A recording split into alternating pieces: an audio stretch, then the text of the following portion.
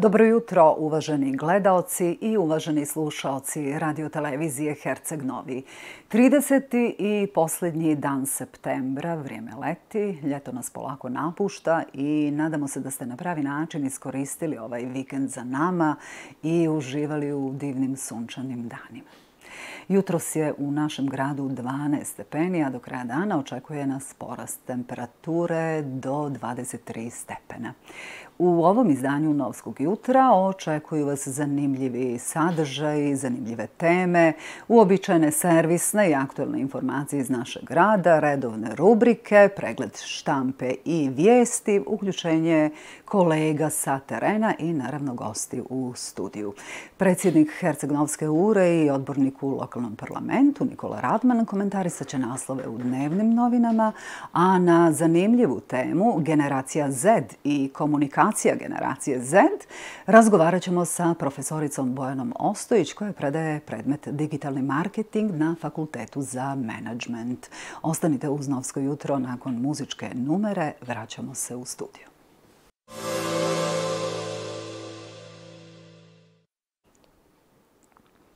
Gledate Novsko jutro. U ponedeljak 30. septembra biće zabranjen saobraćaj u Njegoševoj ulici na potezu od raskrsnice Njegoševe sa ulicom Mića Vavića, zgrada Novljanke, do ulice Save Kovačevića od 16.30 do 17 časova. Ova izmjena režima saobraćaja vrši se radi nesmetanog i bezbjednog odvijanja proslave dana podružnice Bokeljske mornarice 809 Herceg Novi. Vrijeme je pretežno sunčano, na sjeveru prije podne umjerena ili povećana oblačnost, a po kotlinama ponegdje je moguća magla. Povremeno će duvati umjeren do pojačan vjetar sjevernih smjerova, uglavnom u prvom dijelu dana i tokom noći. Jutarnja temperatura vazduha od 2 do 15, najviša dnevna od 10 do 23 stepena.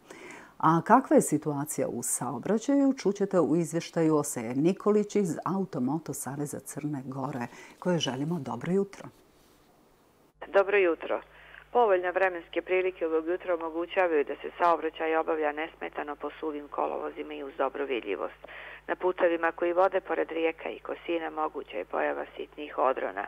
Savjetuje se oprezna vožnja i poštovanje pravila saobraćaja. Dodatna pažnja je potrebna na putevima na kojima se izvode radovi jer je izmijenjen režim vožnje.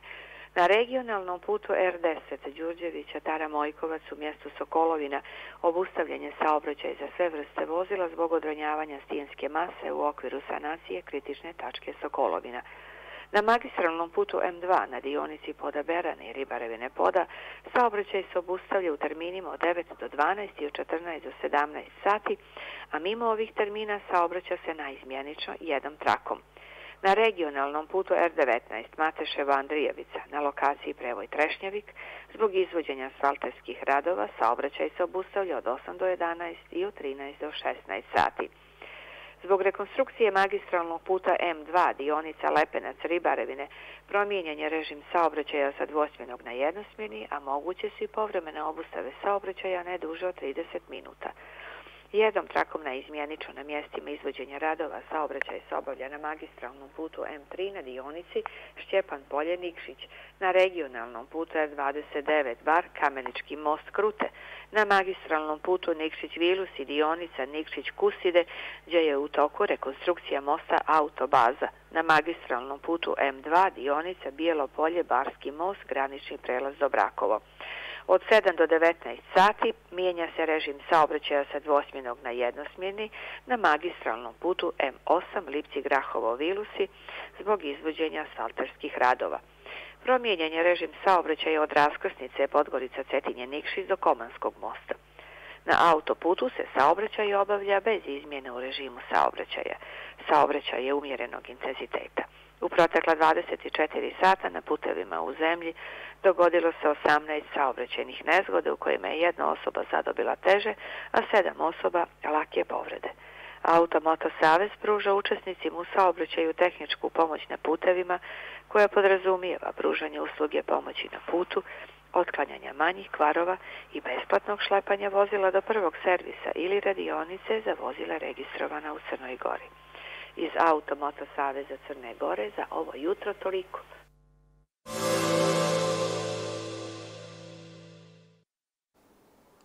Gledate Novsko jutro, slijede događaji koji su obilježili vikend za nama. 12. izdanje festivala Dani nauke i inovacije 2024. otvoreno je u Kotoru. Brojni programe od kojih je jedan realizovan i u Herceg Novom izazvao je veliko interesovanje. Riječ je o programu Ineska koji je aplicirao sa projektom Paradigma na temu Informatizacija i ekranizacija. Organizovane su radionice za predškolce i školarce najmlađeg uzrasta, a sve u cilju da se razriješe zablude između ova dva pojma – kazala je Borislavka Golović-Kažić. Jer radimo deset godina obrazovno-razvojne programe za djecu u Boki, znači Kotor, Tivat, Budva i Herceg-Novi su naša lokacije gdje imamo centre.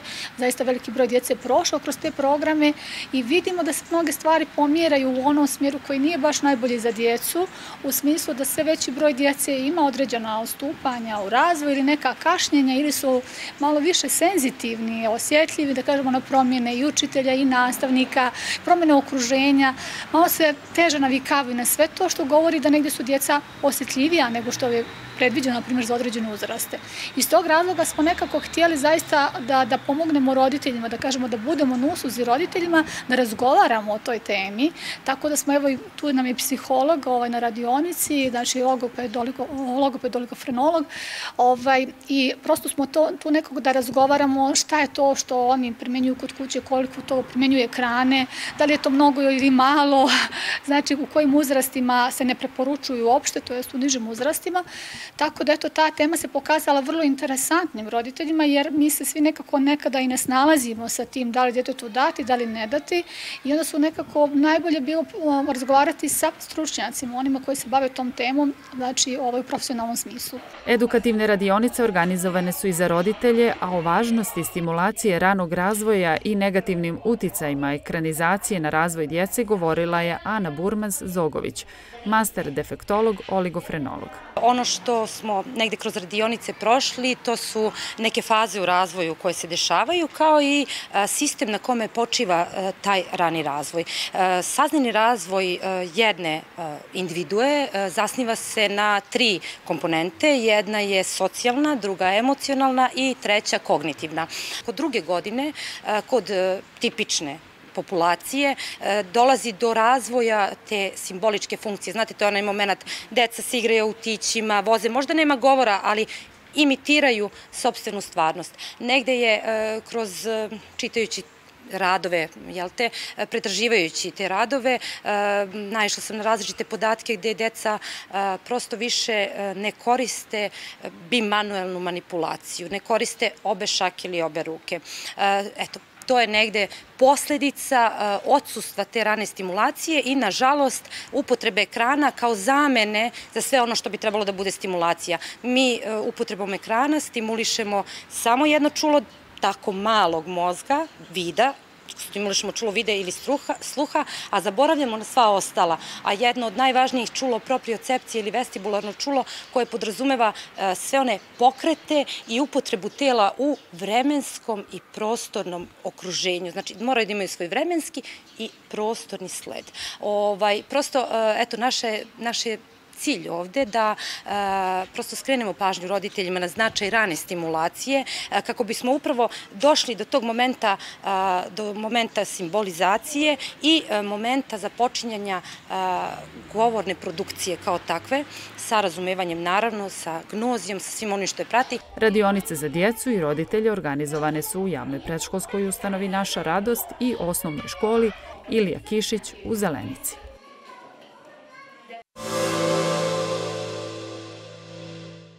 Tender za izgradnju prvog velikog rezervora na Rivijeri, odnosno u Kumboru, je okončan. Nakon četiri decenije biće izgrađen novi od hiljadu i po kubika. Uskoro bi trebalo da bude poznato ko će izvoditi radove. On je vrlo bitan da imamo dovoljno vode u našem sistemu, jer sada kakva je situacija svih ovih godina, manje više, naši rezervari su apsolutno e, nedovoljni sa količinom koju mogu da drže e, za napajanje Rivijere i onda kad nestane vode, vi nemate bukvalno sa čim da, da imate neku rezervu u nekim nekoliko sati, nego jednostavno kako nestane vode, bukvalno ga nestaje, su rezerve previše mali. Uz to i povisanje potrošnje vode e, dosta veliko prilike ide skoro do 20% tokom letnje sezone u odnosu čak i na prošlu godinu, tako da to su drastična povisanja potrošnje, tako da jednostavno moramo da radimo nove, nove rezervare, da gledamo da što više štedimo ovu vodu, tako ćemo zaista ono što kažu u mogućnostima vodovoda, to je maksimalno da radimo na smanjenju gubitaka. Pri kraju je i glavni projekat za Moj drži pode, a koji će uticati na poboljšanje snabdjevanja vodom visočih zona. Za sada se u sve visinske zone se prepumpava, prepumpava voda, da imamo preko znam 20 nešto tih hidrofonskih stanica koje su čak neki direktno povezane na cijelu vode. Oni stvaraju strahovite pritiske tamo u blizini gdje su, gdje su one, tu dolazi često do pucanja i tu su najveći gubici. A ovako ćemo, kada se urade svi hidrologički proračuni, kada se naprave ovaj novi cijelo sa pet novih rezervara, umjesto da pumpamo, imat ćemo gravitacijsko snabljevanje grada, tako da ćemo, em što ćemo smanjiti potrošnje struje, mi ćemo smanjiti pritiske, a samim time će biti i manje one pucanja. Tako da generalno ima tu dosta stvari koje smo pokrenuli za njih godinu po dana i koje sam siguran u sljedećih godinu do godinu po dana će početi da daju baš dobre rezultate, tako da eto sa malo sreće i da završimo svoje projekte kako treba u sljedećih 18 mjeseci, bit će mnogo bolja situacija nego što je sada. Urađen je tehnički koncept kako bi se omogućilo snabdjevanje vodom iz Trebinja. Da bismo izbjegli ove restrikcije, također toga što dolazi sa visinske, sa, kažemo, sa viših zona, ići će gravitacijom, one to bi sve u nekom sljedećem periodu obezbedilo da Hrcanovi ima definitivno urodno odnosno bivanje sljedeći barem 56 godina i da možemo da ispratimo cijeli ovaj razvoj grada koji se dešava. U toku prethodnih, skoro godinu, promijenjeno je oko 5 km mreže ili su ustavljali nove i mijenjali po 300 metara dionica cijevi na pravcima kako bi uticali na smanjenje gubitaka na mreži koji su manji u odnosu na raniji period, što ukazuje na to da idu u dobrom pravcu, zaključio je Lučić. Odigrani su susreti devetog kola druge Crnogorske futbalske lige. Futbaleri Igala remizirali su 1-1 protiv Koma na Zlatici, posljednje plasirane ekipe drugoligaškog karavana. Kom je time osvojio tek drugi bod ove sezone. Igalo je povelo golom Popovića iz 11 terca u 9. minutu susreta. Međutim, igrači Koma u nastavku su preko Radonjića u 79. minutu došli do važnog boda. U ostalim susretima devetog kola druge Crnogorske futbalske lige ostvarena su dva remija. Remizirali su Podgorica i Grbalj, bilo je 2-2, i Mladost Ibar, bilo je 1-1 dok je Lovćen slavio u Danilovgradu protiv Iskre 2-0. Na tabeli mladost ima 16 bodova. Lovćen i Rudar sakupili su po 14, dok Igalo četvrto sa 12 bodova. U narednom kolu već u sredu kreće drugi dio jesenjih šampionata, a Igalo gostuje Podgorici. U prvom kolu na otvaranju sezone Igalo i Podgorica su na Solijima odigrali odličan meč, bilo je 2-2.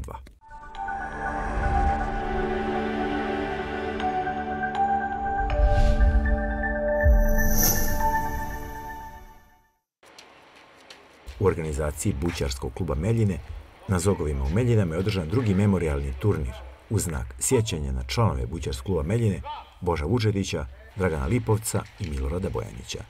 Na turniru koji se igra u disciplini parovi učestvovalo je 12 ekipa. Ranko Bojanović i Ratko Zec bili su bolji od Ilije Belana i Draga Plamenca rezultatom 6-5 u prvom polufinalu. U drugom, Nenadi Tomo Ranković poraženi su od Slavoljuba Đuričića i Dejana Krunića rezultatom 12-7. U velikom finalu, Đuričić i Krunić bili su bolji od Bojanovića i Anđelke Krstović rezultatom 10-5. Treće mjesto na turniru pripalo je paru iz Budve, Tomo i Nenad Ranković. Prije svega se zahvalim Boćarskom klubu Meljine na organizaciji ovog turnira i podržavam svaki vid i karakter ovog turnira. Ovaj, ekipe iz okruženja, domaće ekipe, naravno sve najbolje što je trenutno u našoj ligi, to je bilo danas i na ovim terenima. Uvijek smo spremni da podržimo ovakve turnire. Naravno, Boćarski klub Meljina uvijek se odazovemo rado njihovim turnirima i volio bi da se ovo nastavi i da traje ovaj, baš ovaj turnir, pošto je o, o, ovoga karaktera memorialni i poželio bi Meljinama da im dugi niz godina traje. Drugo mjesto na memorialnom turniru u Meljinama osvojio je par Bojanović-Krstović. Drugi turnir memorialni koji ove godine organizuje naš klub. Iako kvalitet i igra sama nije bila u prvom planu, ipak je bio na jako visokom nivou gotovo sve najbolje u Crnoj Gori što se tiče bućanja bilo i danas tu sa nama. Sem par igrača, ali gotovo sve, kao što rekao, najbolje je bilo tu. Ovogodišnji pehar, namenjen pobjedniku memorialnog turnira u Meljinama, pripao je paru Krunić-Đuričić. Da se zahvalimo na svim učesnicima na dobrom turniru, jakom. Da se zahvalim Budvi, ljudima koji su danas onaj, mogli ovo da izdrže ođe. Ovaj turnir za mene e,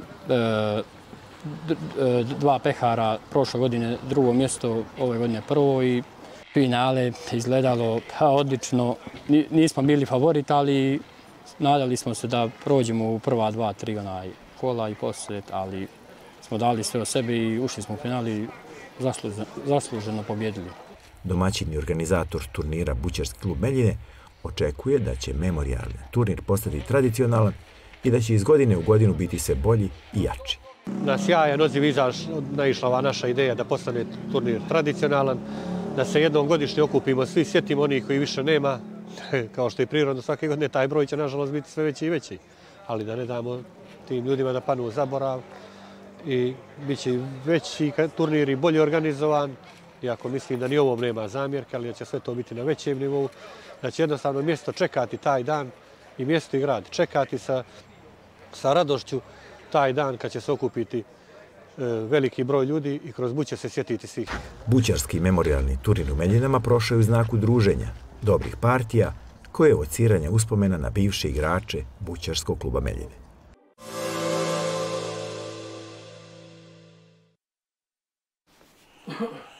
Pratite Novsko jutro. U subotu veče predstavu uspomene Sare Bernard, Johna Marella u adaptaciji reži Staše Koprivice, Tanja Bošković i Dejan Đonović odigrali su pred prepunom dvoranom pozorišta u Torontu. I kako nam je javlja naša novljanka koja živi u Torontu, Antonela Krstović-Arhin, Publika je burnim aplauzom i ovacijama pozdravila ovu sjajnu predstavu. Antonella piše, glumci su na fascinantan način držali publiku i neizvjesnosti radnje između melodrame i komedije. Tako da sam se dosta puta zapitala da li je određeni dio predstave izmajmljivao smijeh ili pak pozivao na razmišljanje o razvoju samih karaktera, o pozorišnoj umjetnosti pa i o samom životu. Osim svoje tematske dubine i kompleksnosti uloga, dijelimično jer je predstavljena u dijaspori, jer je po mnogo čemu novska, predstava mi je ostavila nostalgičan trag i kao takva nastavlja da živi u mojim mislima. Voljela bih još jednom je pogledati sa briljantnim glumcima poput Tanje Bošković i Dejana Đonovića. Ništa manje se nije moglo ni očekivati jedno sjajno veče u Torontu. Aplauzom i ovacijama publika je pozdravila glumce koji su dva puta vraćali na bis.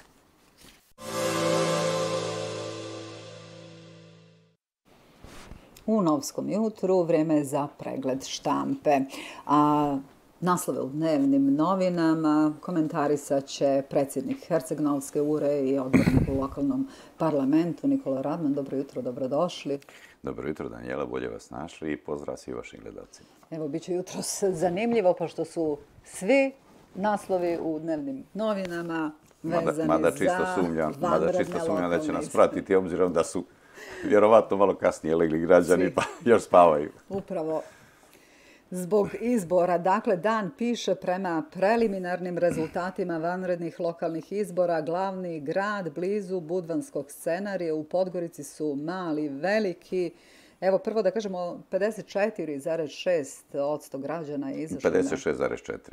I šta kažete? Pa šta kažem? Mala izlaznost? Pa dalo se naslutiti. Dalo se naslutiti, jer već je evo već neko vrijeme imamo taj trend, e, naročito kod lokalnih izbora, gdje je jednostavno zainteresovanost građana bio u e, svojevrsnom padu, što je na neki način i, e, logično. Znate, vi, mi već, ajde da kažem, već prethodnih nekoliko godina imamo ovaj, učestale te lokalne, naročite lokalne izbore, kad pridodamo na to izbor za predsjednika, pa parlamentarne izbore prošle godine i tako dalje, jednostavno građani su se zamorili, to je s jedne strane. S druge strane, ja mislim da su više zamorili silnih obećanja.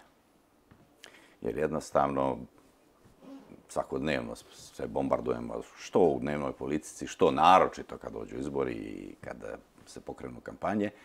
Tako da jednostavno ovo je jedan logičan slijed, ali je s druge strane jedno ogromno upozorenje. jedno ogromno upozorenje ovaj, političkim subjektima da jednostavno politiku moraju na neki način da mijenjaju ako misle da dobiju poverenje ovaj, u budućnosti građana. Jer, pazite, ovo je mm, jedna veoma ovaj, zabrinjavajuća situacija. Vi imate i u Podgorici, i u Tivtu juče, da skoro polovina građana nije izašla. Ja mislim da je to sasvim dovoljno upozorenje da nešto moraju da mijenjaju. Tako da, ovaj, evo, što se tiče samih rezultata, i to možemo dosta diskutovati oko toga, i u Kotoru, i u Podgorici je nešto slično. Dakle, one partije, a znamo da je to Demokratska partija socijalista, koje imaju to, ajde da tako kažem, partijsku vojsku, koje imaju stabilno glasačko tijelo, su iskoristili taj mali broj, taj manju izlaznost, jer imaju ovaj, kao što sam rekao, stabilno glasačko tijelo. Oni su I disciplinovano. Disciplinovano, naravno. I oni su uspjeli da ih ovaj, izvedu, tako da je najviše pogodovalo njima. Što se tiče ovih drugih partija, videli smo, ovaj, očito je tu došlo do, do pada, naročito je indikativno pad eh, koalicije Evropa sad i demokrata koji su ipak vrše vlast na državnom nivou.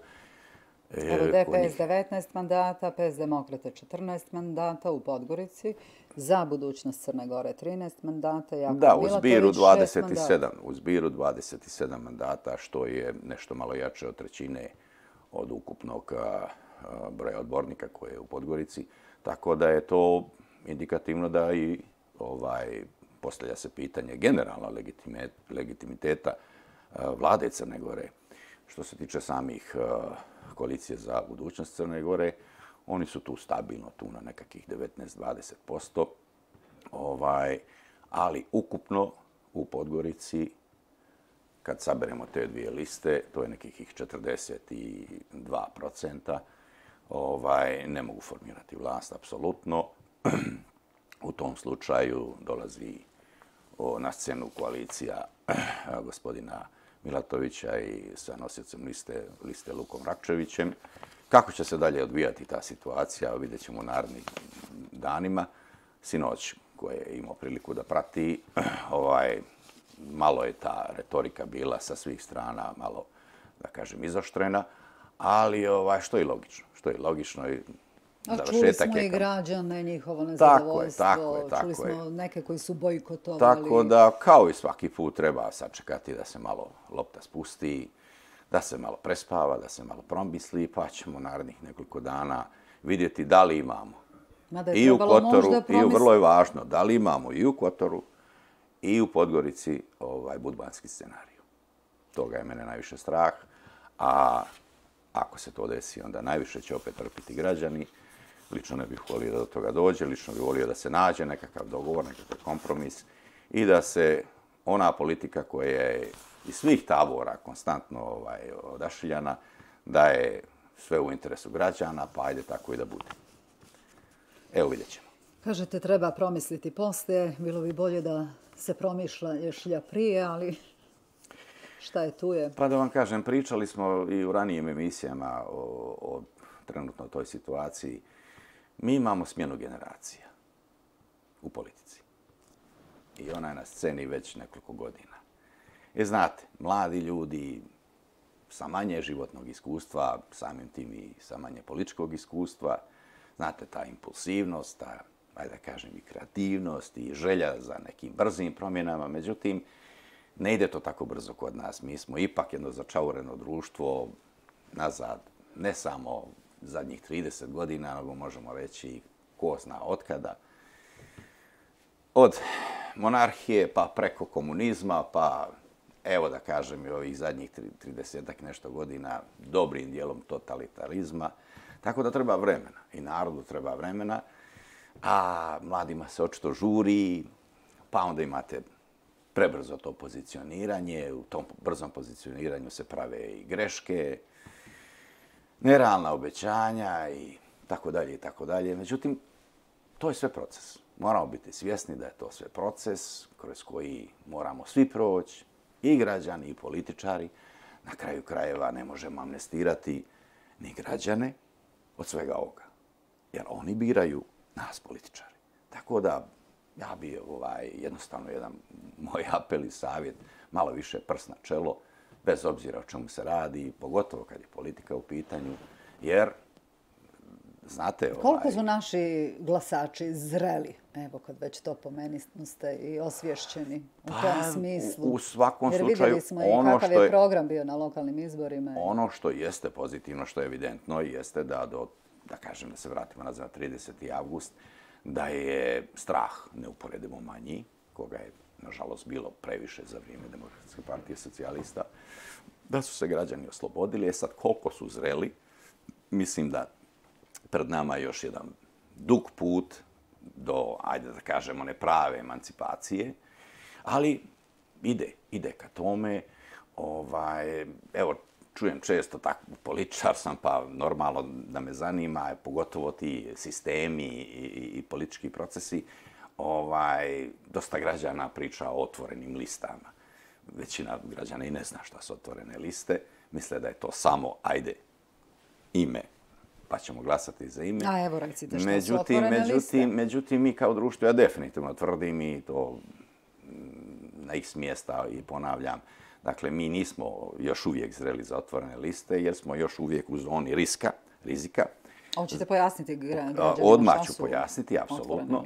Jer znate, ovaj, otvorena lista gdje vi e, kao predstavnik naroda ili partije, nije važno, ali imenom i prezimenom imenom i prezimenom se nalazite na listi i građani direktno glasaju za vas. I na taj način se i formira ili poslanički klub ili se formira, ovaj, postajete odbornik.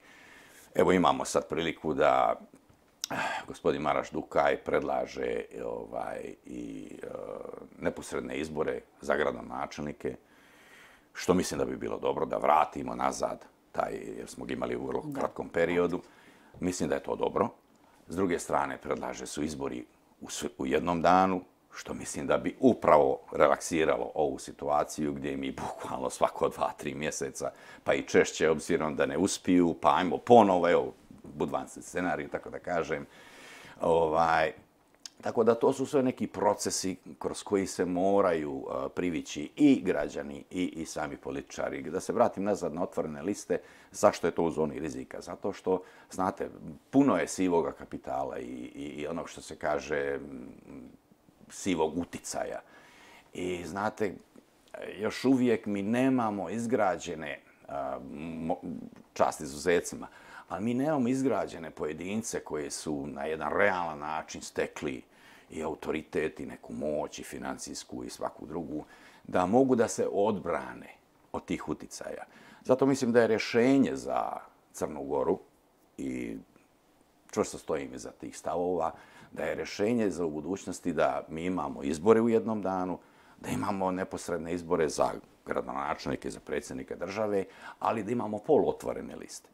To vam je znači ista ova lista partijska, ali na listi se zaokružuju imena. Tako da i, i, i tu bi i tekako doprinijeli ovom izrazitom, a, kako vam rekao, jedno izrazitoj partitokratiji, gdje partija se bukvalno pita o svemu, pa čak i kako će ta lista izgledati, ko će biti prvi, drugi, treći, peti, i kasnije ima mogućnosti da rotiraju te ljude. Ovako, Ovako bi bilo građani. zakucano. Ovako bi bilo zakucano. Znači, čak i u partiji bi se, bi građani rangirali ko, ajde da tako da kažem, ko više pije vodu. I mislim da je to i tekako korisno za društvo i nadam se da će to što, što, što u skorijem vremenu izaživjeti. Eto, to su neke, neke moja viđenja.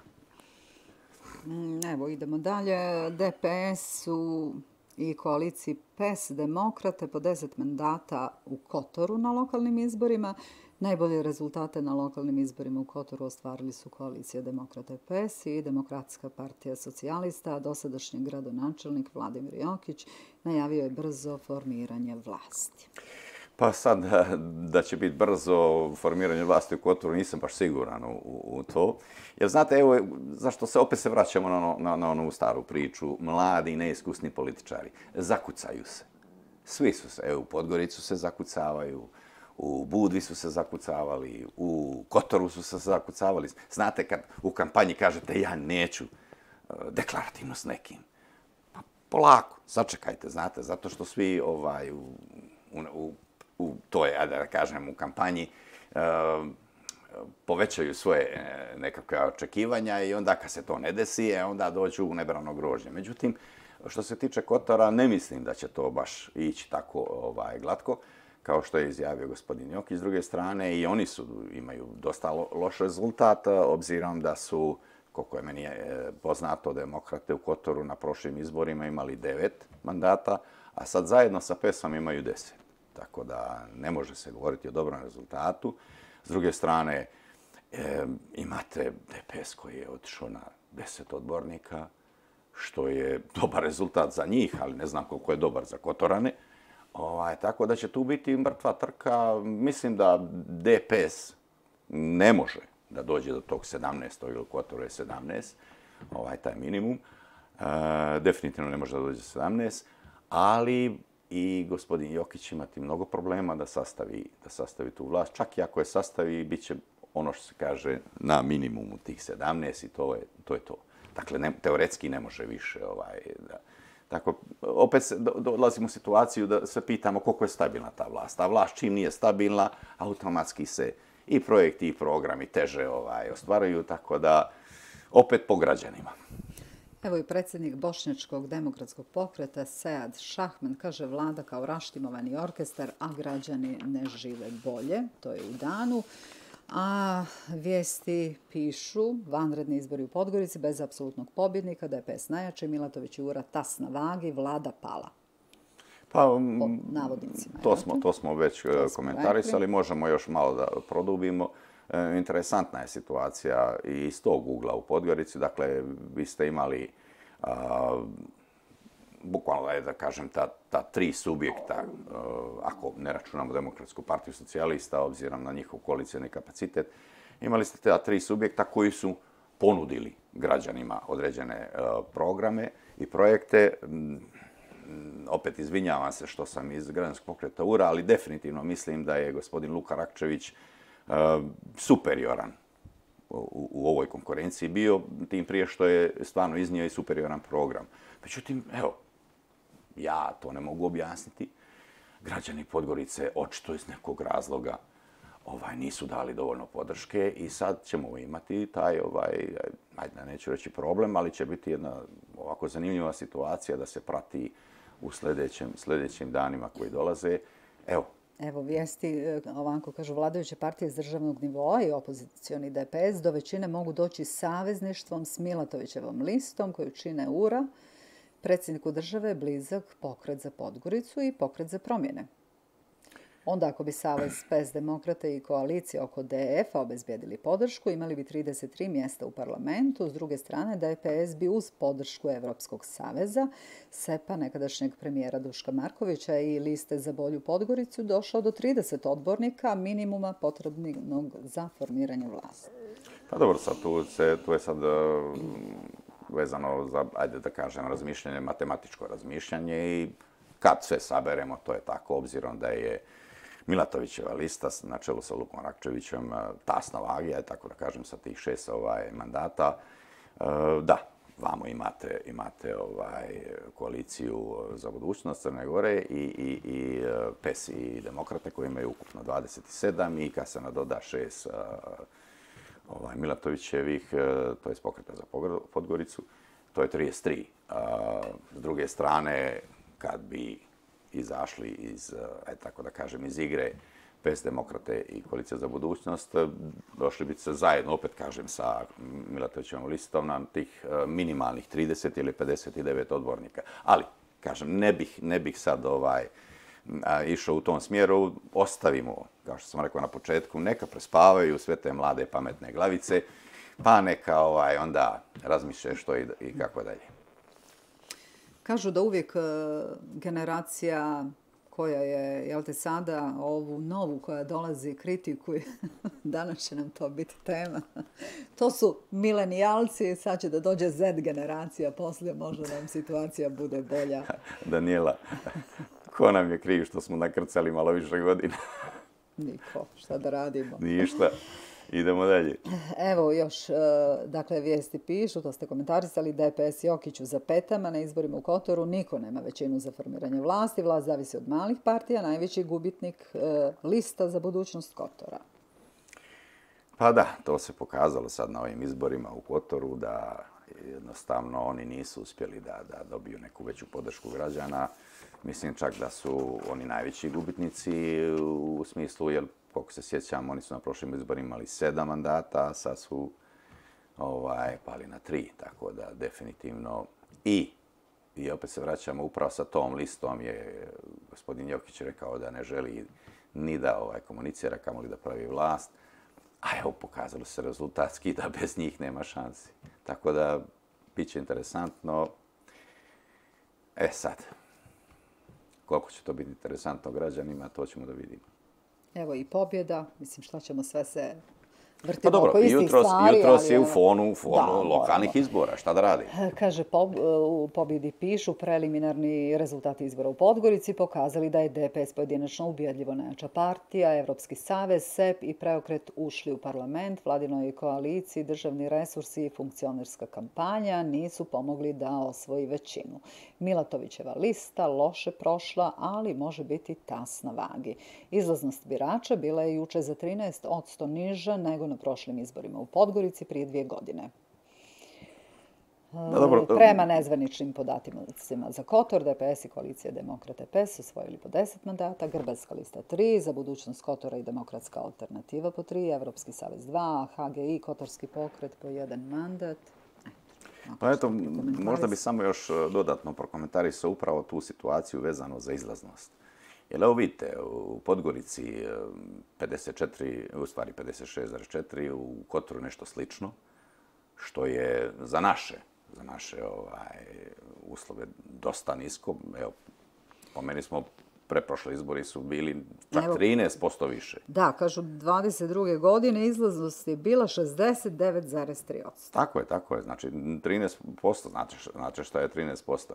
I ovaj, upravo u, u, u tom dijelu se, se, su se i partije preračunale sve osim DPS. Dakle, njima ta niska izlaznost odgovara, pomenuli smo i zašto. A s druge strane, sigurno sam mislite da je u Podgorici bilo tih, kažem, još desetak, 12, 13% više, ovaj, sigurno bio rezultat bio mnogo drugačiji. E, Čak i kompletna ta, ta politička scena u Podgorici je bila drugačija, ali bi neki bili jači, možda bi još neka od ovih e, partija koje nisu pre, prešli cenzus ovaj, e, vjerovatno da ne bi, ali bi ove koje su samo prešle cenzus bile još jače, pa bi tu bilo i ovaj, otvoren prostor za e, još veće pregovore, tako dalje. Dakle, opet kažem, partijama, partijskim subjektima i kako da, da, da se zapitaju zašto je to izlaznost toliko mala.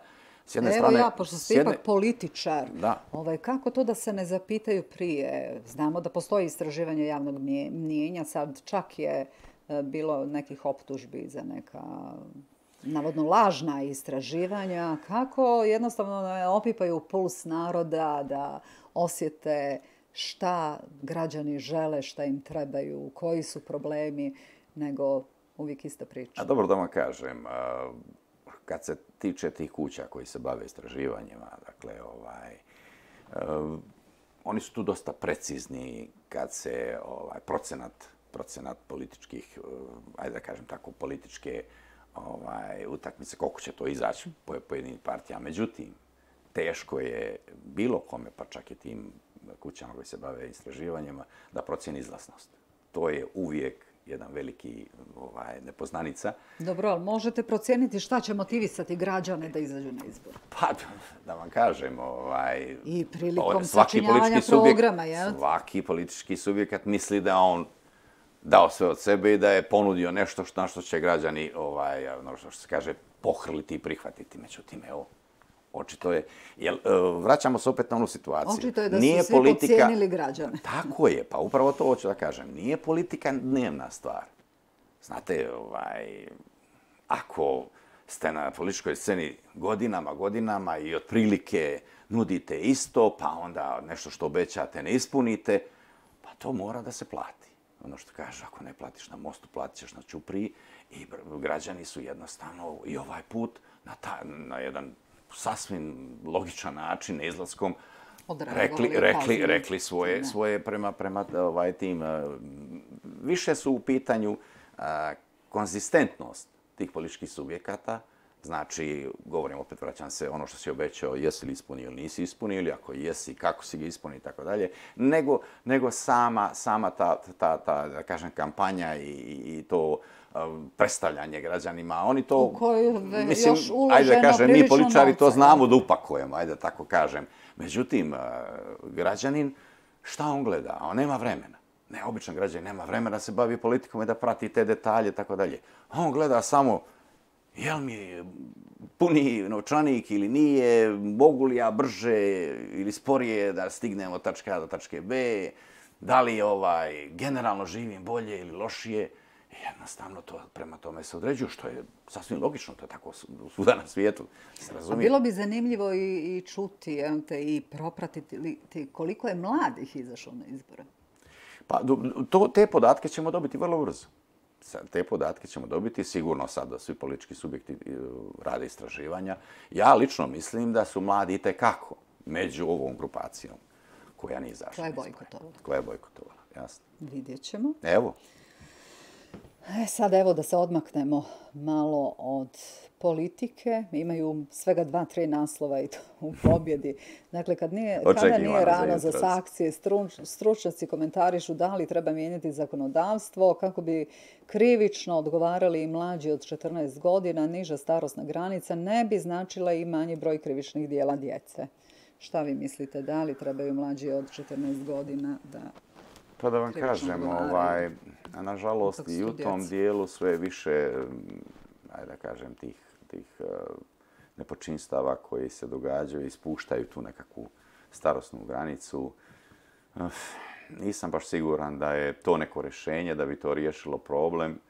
Mislim da mi moramo da kao društvo djelujemo preventivno i kad je ukupna društvena zbilja u pitanju i kad su i sami roditelji u pitanju. Dakle, to je nešto što je apsolutno potiče iz, iz čitavog društva. Znači, društvo treba posebno da se, da se ovaj bavi e, na tom pitanju i da pokušava da iznalazi, nije to samo kod nas, svukuda je to problematično, kako vrijeme prolazi, tako se ta nekakva i granica spušta.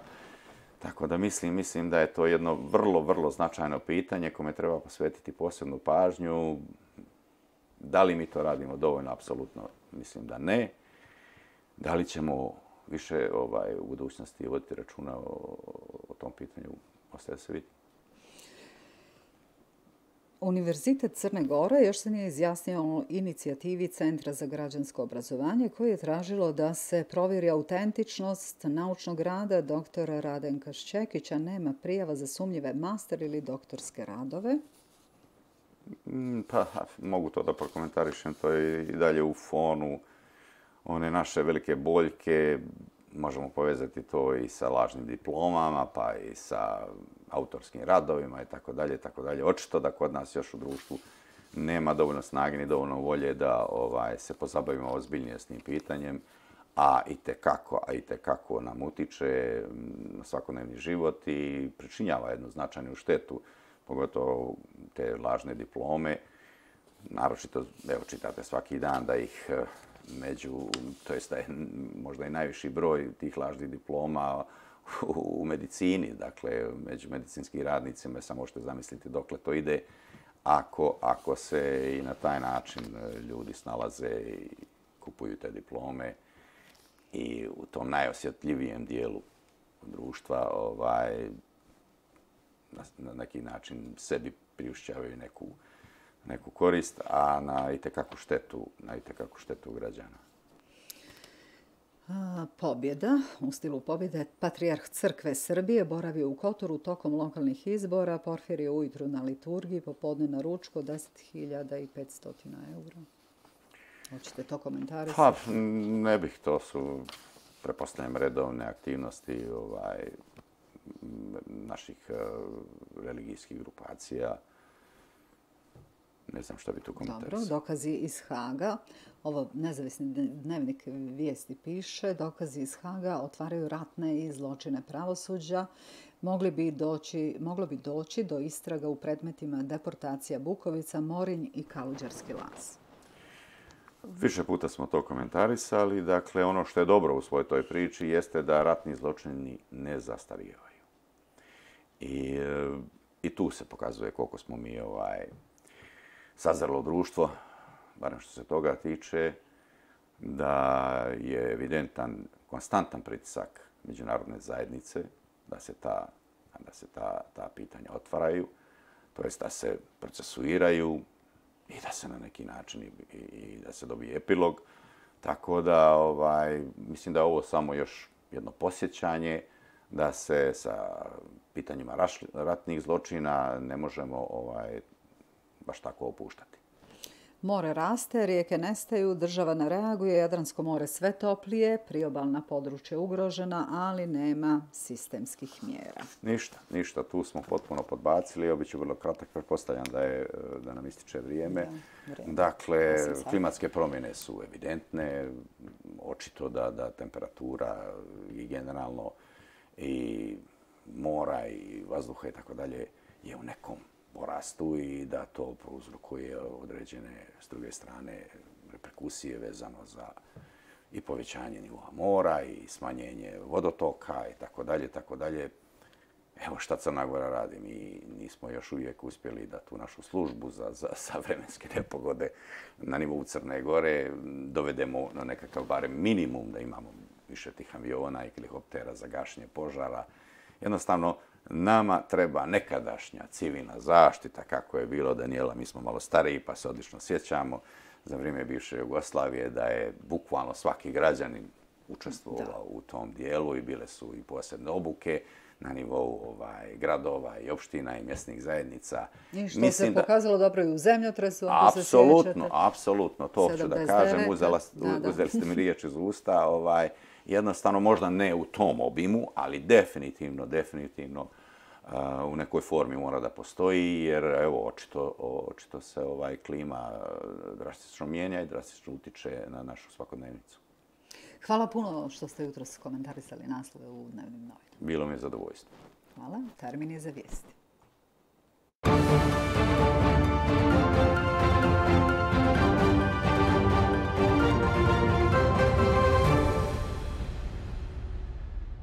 Projektni tim Univerziteta Crne Gore, koji čine predstavnici ekonomskog, građevinskog i medicinskog fakulteta, saglasno sporazumu o sradnji između Vlade Crne Gore i Univerziteta Crne Gore o izradi plana restrukturiranja, završavaju fazu intervjua i rade na analizama trenutnog stanja i identifikaciji ključnih izazova koje će dovesti do predlaganja više modela za institut u Igalu, saopštili su danu iz Ministarstva prostornog planiranja planiranja urbanizma i državne imovine. Cilj je definisanje sveobuhvatnog plana restrukturiranja instituta u Igalu, kojim će se osigurati ne samo kratkoročna finansijska stabilizacija, već i dugoročno finansijsko ozdravljenje kao i unapređenje konkurentnosti poslovanja.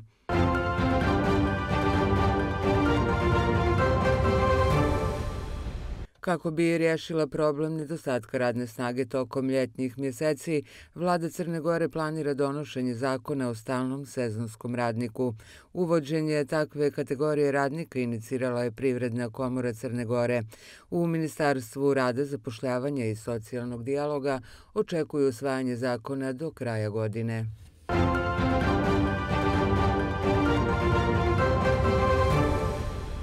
U cilju povećanja kvaliteta organizacije i realizacije vozačkih ispita i unapređenja kvaliteta i bezbjednosti saobraćaja, Ministarstvo prosvijete, nauke i inovacija donijelo je novi pravilnik o načinu organizovanja i sprovođenja polaganja vozačkog ispita.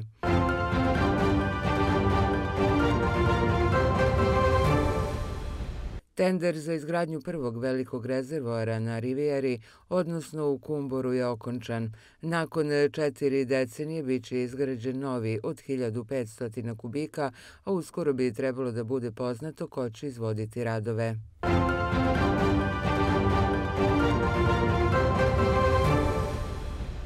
Uvodu u dan Bokelske mornarice 809 podružnice Herceg Novi, dan oslobađanja Herceg Novog od turske vlasti 1687. i dan Svetog Jeronima zaštitnika Herceg Novog, označeni memorialnom sjednicom i dodjelom povelje porodicama preminulih članova i zaslužnih članova Bokelske mornarice. Glavni program biće održan danas.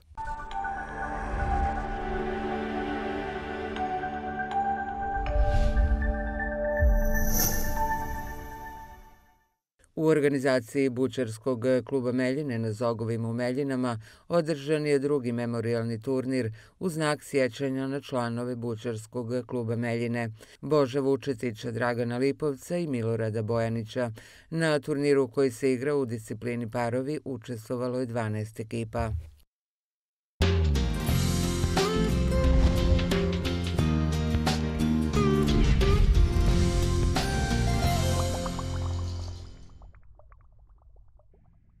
Danas u Crne Gori sunčano, vjetrovito i vedro vrijeme.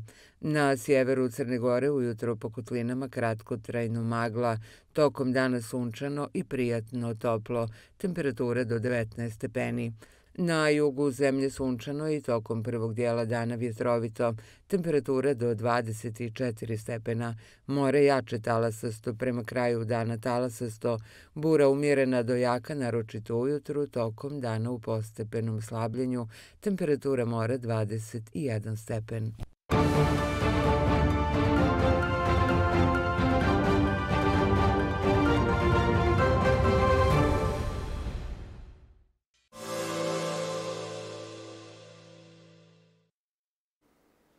A sada imamo i uključenje koleginice Mire Potpare. Naime, djeca korisnici dnevnog centra boravili su proteklog vikenda u Sarajevu, a sada ćemo čuti više o razlogu posjete i naravno o utiscima. I dobro jutro kažemo Miri Potpari, direktoru dnevnog centra Petru Kovačeviću. Divno septembarsko posljednje jutro. Nalazimo se na divnom mjestu sa divnim i dragim ljudima, sagovornicima i ko kaže da život ne može biti lijep. Dobro jutro, Petar Kovačević, vede direktora Dnevnog centra i zaista uvijek nam je zadovoljstvo kad dođemo i otvorimo vrata vaše ustanove, posebno kad vidimo naše drage drugare, a vi nam recite šta ste radili u Sarajevu.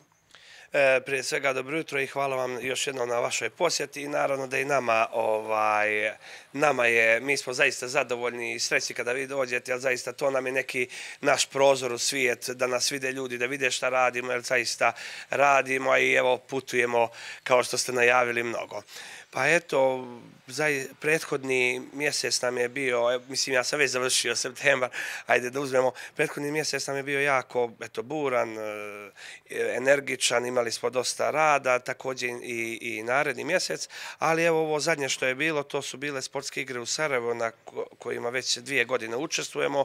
Ove godine to su bile 14. sportske igre Oaza u organizaciji udruženja Oaza iz Sarajeva i mi smo putovali tamo sa tri takmičara gdje su se natjecali u atletici i plivanju.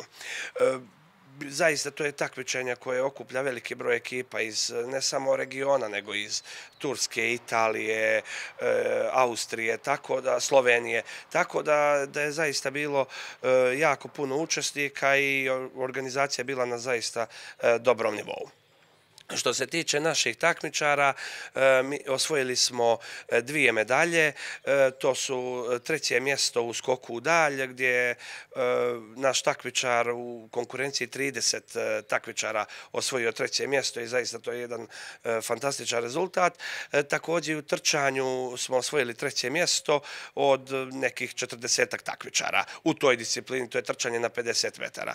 Što se tiče ostale disciplina, učestvovali smo i na bacanju kugle, gdje je naš takvičar zauzeo sedmo mjesto od 30 takvičara i imali smo takvičenje u plivanju, e, tu smo malo e, podbacili, imali e, zaista ne znam šta je, šta je bilo s našim takmičarima, nije bio nešto u elementu, tako da smo zauzeli tu neko 14. mjesto, dok e, djevojčica koja je bila jedan od favorita da uzme medalju, se povrijedila prije takmičenja, tako da na, na njenu, a i na našu štetu nije, nije uspjela da, da startuje trku.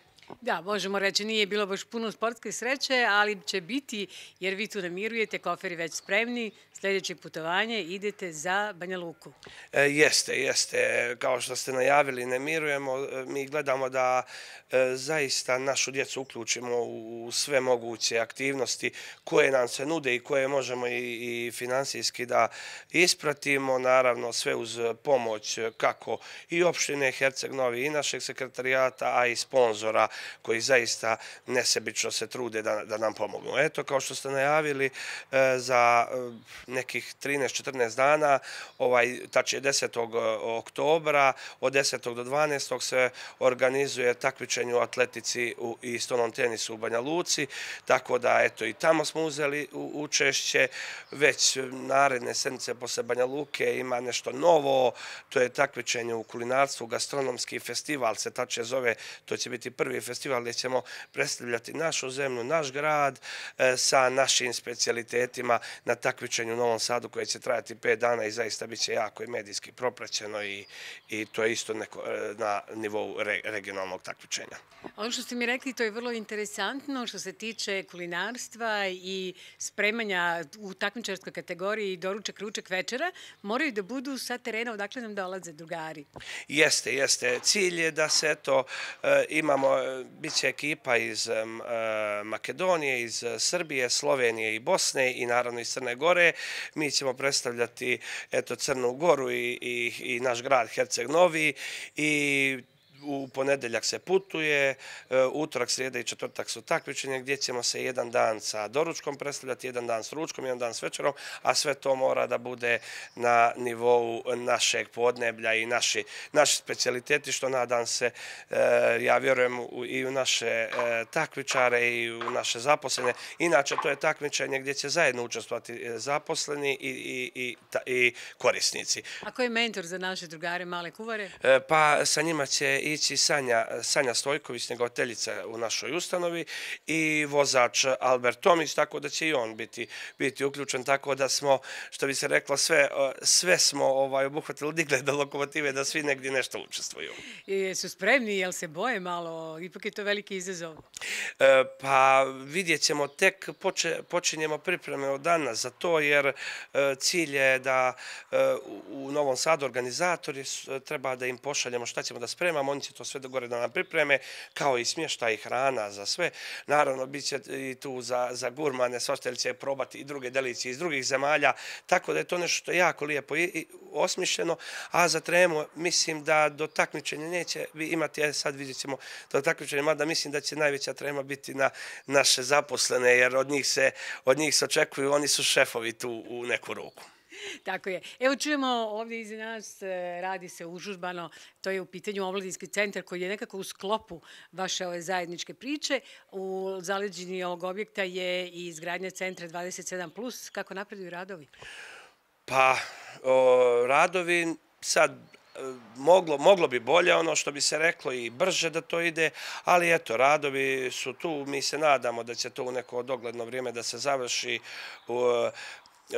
Izvođač je trenutno Eurozox. E, mislim da smo i prošle godine na tu temu pričali u avgustu, čini mi se.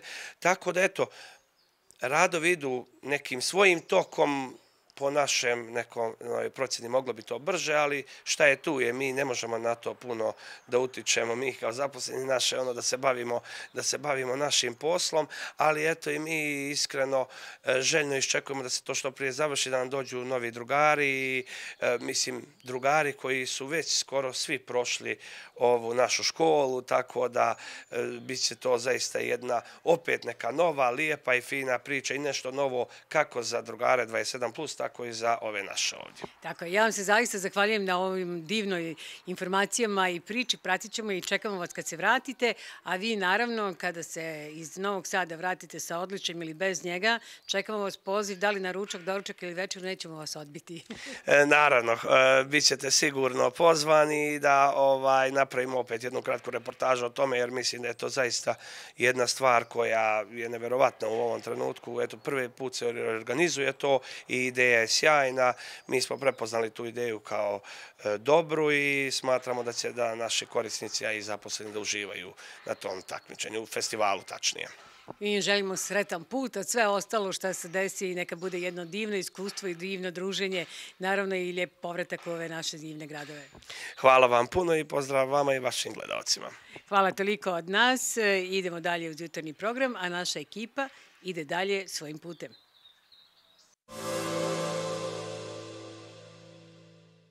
Ali idemo dalje.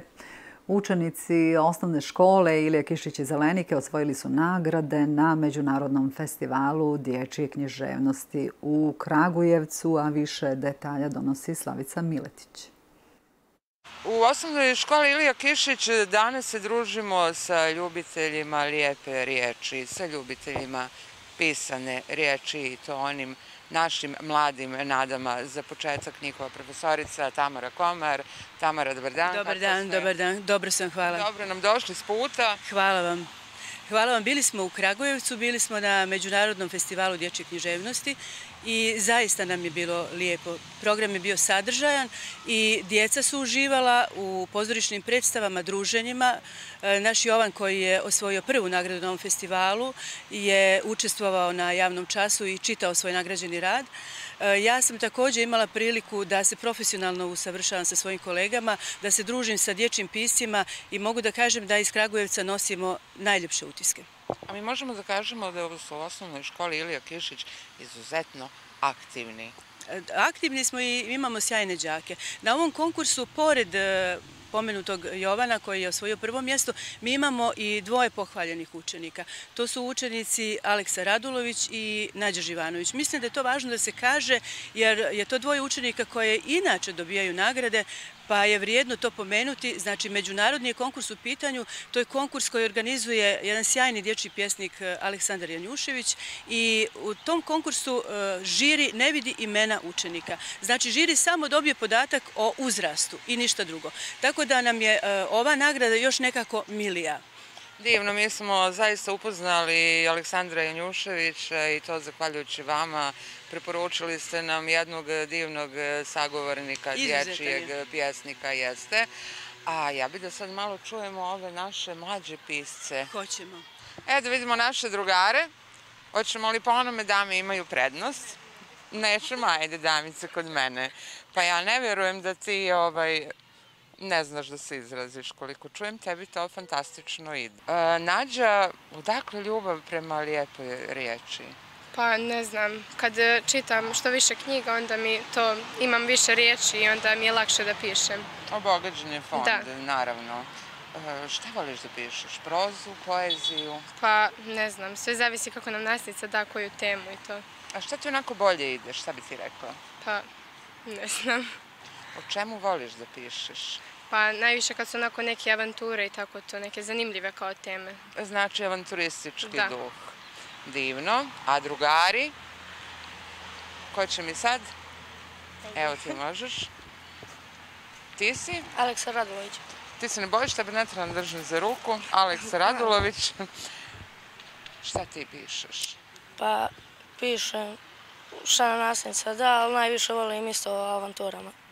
Moja omiljena, e, moja omiljena tema je bila na temu moja nezaboravna avantura kad smo pisali za konkurs u Beogradu.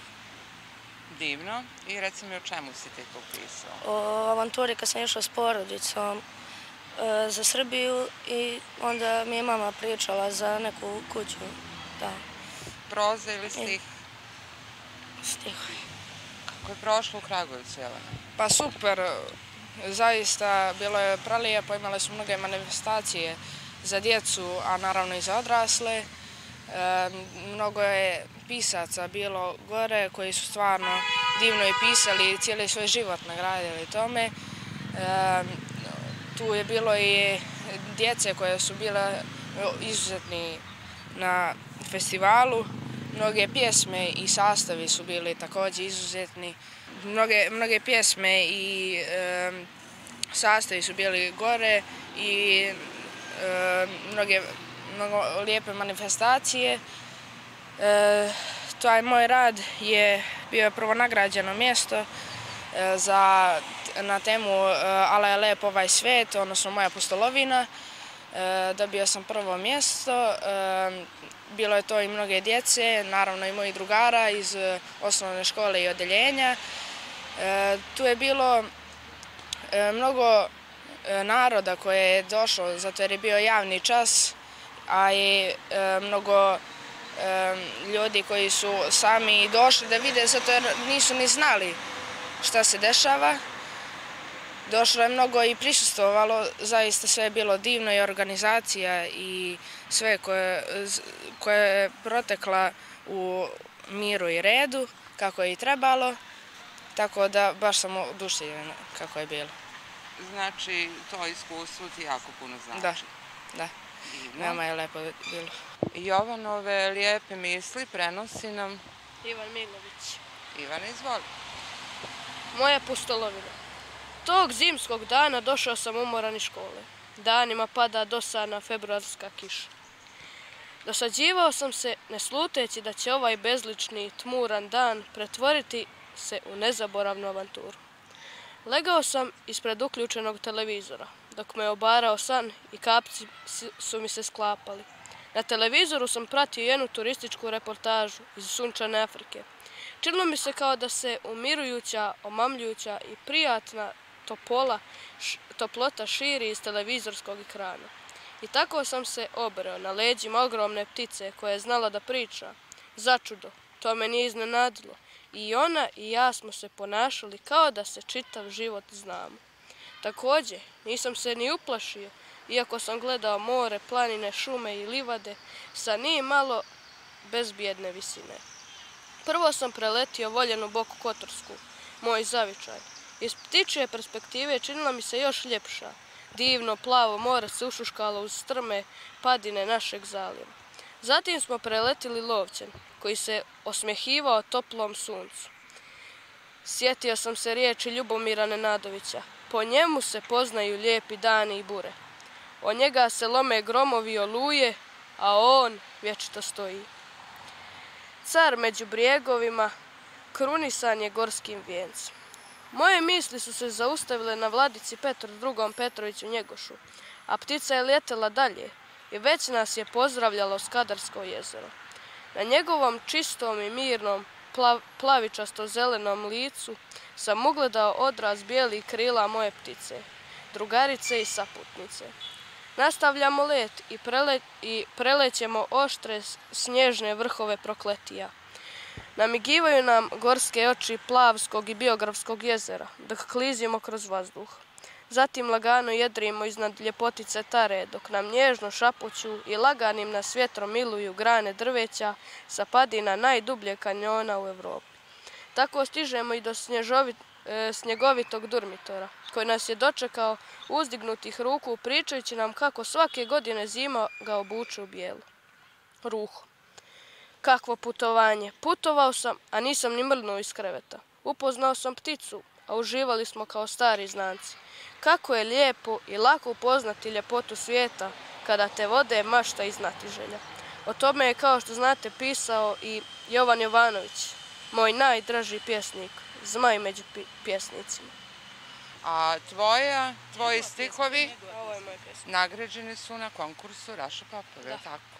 Možemo li da čujemo? Sanjam tebe, moja draga, mila, kako letiš, kako imaš krila. Nadlećeš, pored mene slećeš, čas me grliš, a baš prolećeš. Pa od sreće i toga veselja, sanjam društvo, ljudi, prijatelja.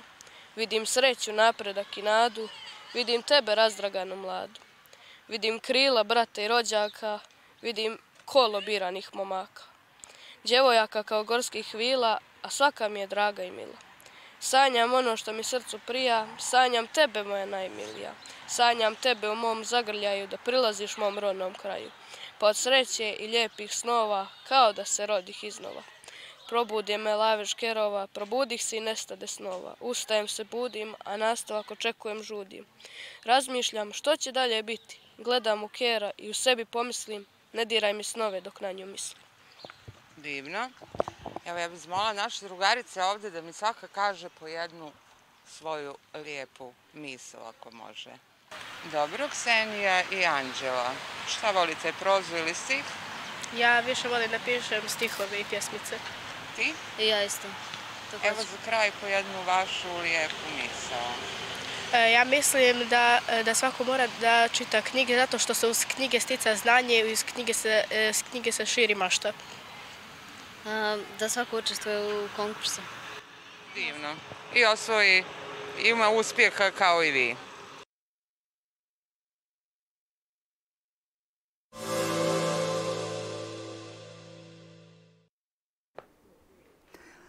Gledate Novsko jutro, a u Domu starih Grabovac u Risnu održano je šesto, sada već tradicionalno izdanje manifestacije Noć mode u Grabovcu 2024. u okviru koje se ulozi modela pojavljuju korisnici doma i dnevnog boravka.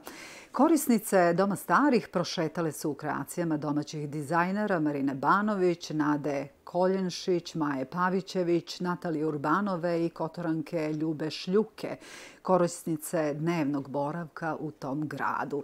Za šminku je bio zadužen Pharmacy Team, a frizure potpisuje Sunflower Salon Ljepote kao i frizerski salon Doma starih.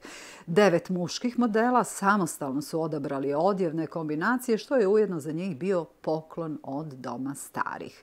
Manifestacija se organizuje na inicijativu Nataše Milosavljević-Šćepanović, bivše mis Crne Gore i vlasnica agencije AR Scouting, a pod pokroviteljstvom Ministarstva rada i socijalnog staranja Crne Gore, opštine Kotor, kao i drugih sponzora. A sada još malo muzike.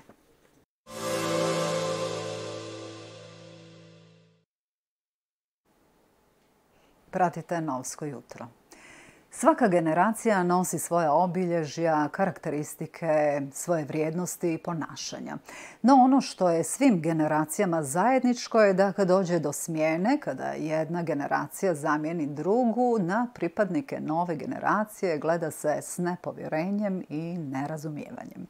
Tako i sa generacijom Z, koja je počela sredinom 90-ih, odnosno 96. ili 97. pa nadalje.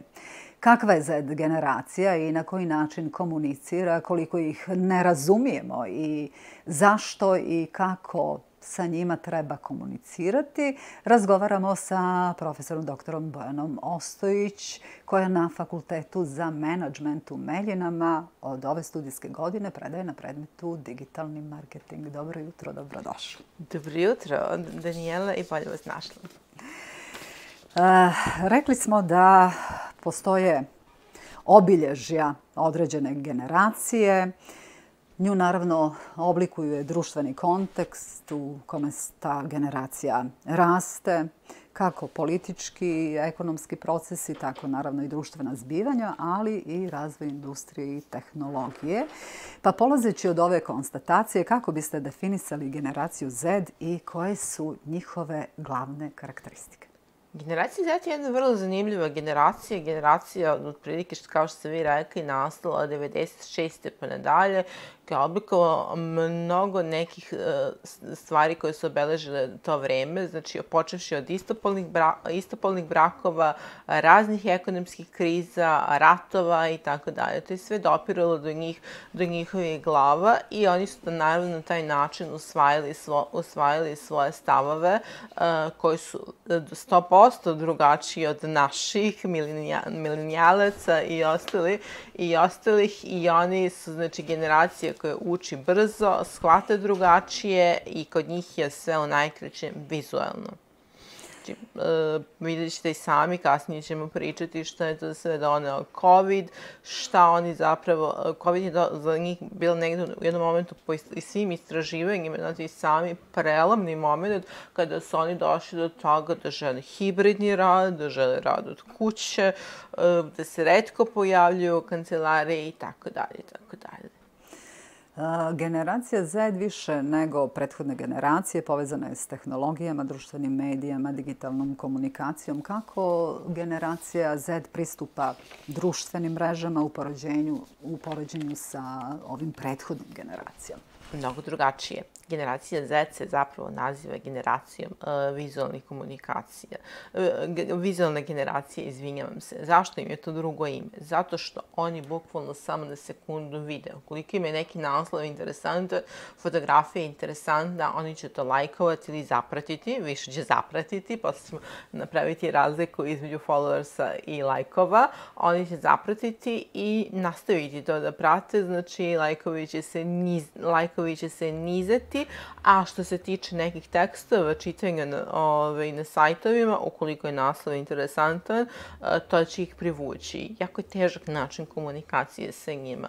E, njih naslov, ako ih naslov e, privuče, to isto tako ne mora da znači da će oni do kraja po istraživanju uopšte i sam u komunikaciji sa njima dok ove, ispremam nastavu neće pročitati tekst do kraja šta njih više interesuje. Njih više interesuje komentari ispod, šta, šta piše zapravo ispod, šta je neko drugi komentarisa. Znači, interesuje ih stavovi drugih. To je razlika između njih i prethodnih generacija. Znači, I na osnovu stavova drugih, da li formiraju svoje stavove? Formiraju ili... svoje, ali imaju i oni svoje stavove. I to kako oni znaju da formiraju svoje stavove?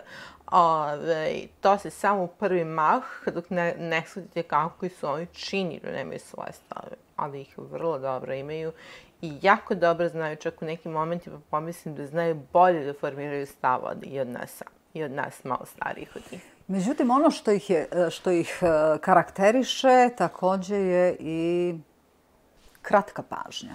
Jeste, pažnja se e, skraćuje iz godine u godinu. Recimo, uh, za pre dve godine njihova pažnja je bila minut i po, sada se to smanjuje na nekih 60 40-60 sekundi, znači to je video generacija koja ako je, ako je neki video interesantan, sa, njim, sa njima morate znati komunicirati. Za njih je važan taj sadržaj na prvi mah.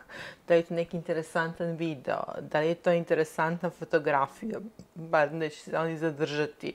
E, zato su to generacije koje više ne koriste Facebook, više koriste Instagram. Kasnije ćemo pričati o TikToku, šta njima sve TikTok radi i šta oni sve sa TikTokom radi, koliko je zapravo to uspešna mreža za njih i koliko njima i nama sa druge strane donosi profit.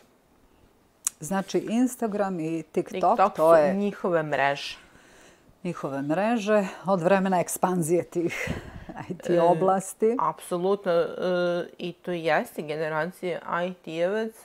Međutim, sada se ponovo po novim istraživanjima pokazuje da se vraćaju menadžerske pozicije E, ni jesu IT-evci i dosta toga, upravo kada je generacija Z došla, tada je došlo do, gen, e, do smena uh, i u industriji, da se IT je naglo, naglo porasla ova ekspanzija. Uh, međutim, u Srbiji se pokazalo ove godine da oni traže i takozvane meke veštine od ove godine, da IT je za malo nešto e, smanjena potraga, potraga za upravo IT zanimanje, e, tu e, je management se opet vraća. A oni su se na Instagram, na TikTok prebacili brzinom svjetlosti. Yes. To govori negdje o njihovim Eh, karakteristikama. O, da, zato što su to, mre, to su takozvane brze, brze i vizualne mreže. Šta je Instagram? Instagram je, znate i sami, vizualna mreža, dobre fotografije će ih pri, privući, znači oni će je lajkovati, ali će isto tako followers zapratiti. Ono što njih interesuje, oni će to zapratiti, pratit će svaki dan. To su generacije koje drže telefone u rukama, TV da ih pitate koliko puta mesečno koriste, nisam sigurna da će znati odgovor. Ove, više su to neke grupe, da kažem, da koriste više Netflix ako gledaju nešto na ove, na računaru ili nešto slično. Uglavnom, ako gledaju, to su serije koje prate na a, računaru, gledaju više na telefonu, znači telefon, tablet, to su njihove sredstva komunikacije.